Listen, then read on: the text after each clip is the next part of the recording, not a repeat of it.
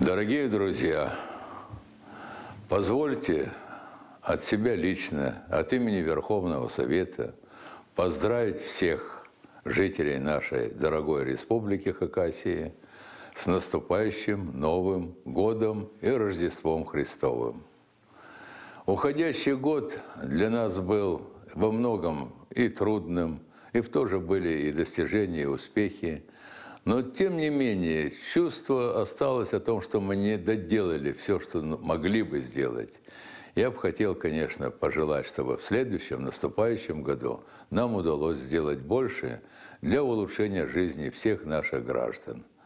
Дорогие друзья, пусть наступающий Новый год принесет каждому из вас новые достижения, новые успехи, и вам пожелать всем любви к близким, друзьям.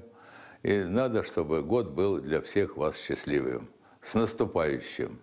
Новым годом и Рождеством Христовым!